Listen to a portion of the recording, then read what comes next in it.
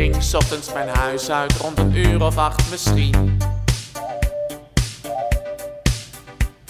De bus verliet de halte nog voordat ik hem kon zien.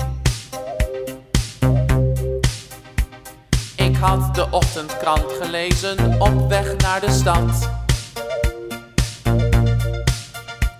En gapen dacht ik bij mijn eigen dat ik niet genoeg geslapen had.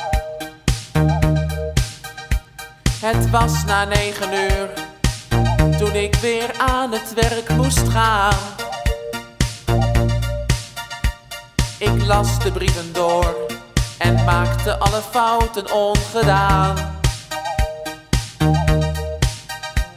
Geluncht in een café, na twaalfen ongeveer, een stuk gebak en een kop thee. En toch, het heeft geregend, ja, daar ben ik zeker De dag voordat jij kwam. Ik nam een keelpastille, vlak na tweeën ongeveer. Verkoudheid is iets vreselijks, dat geeft zo'n nare sfeer. Toch bleef ik doorgaan en stond ik de klanten goed te woord. Want negatief gedoe, dat is bekend bij ons, is iets wat echt niet hoort. Na vijven ging ik weg, want eerder kon ik namelijk niet. Daar hield ik mij ook aan, sinds ik mijn schooltijd achterwege liet. Ik las de avondkrant, toen ik de bus naar huis nam, hield hem stevig in mijn hand. Mijn leven was goed in balans, daar ben ik zeker van. De dag voordat jij kwam.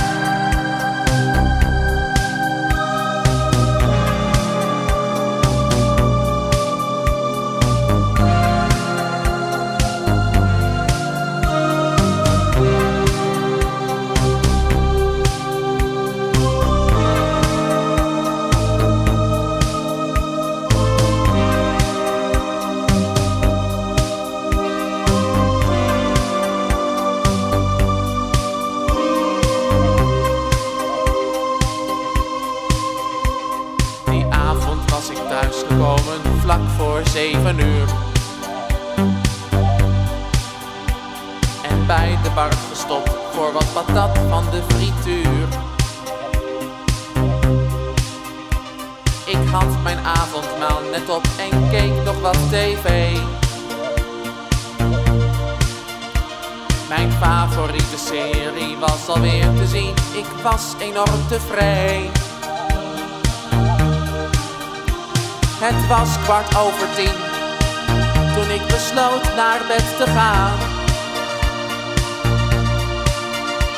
Ik heb mijn slaap hard nodig om zo een nieuwe werkdag te doorstaan. Ik las nog een verhaal, het nieuwste boek van Paul van Loon of die van Ipendaal. Geen doel had ik voor ogen, ja, daar ben ik zeker dag voordat jij kwam. Ik deed het licht weer uit en trok het beddenkleed in zijn geheel over mijn huid. En buiten regende het, ja, daar ben ik zeker van. De dag voordat jij kwam.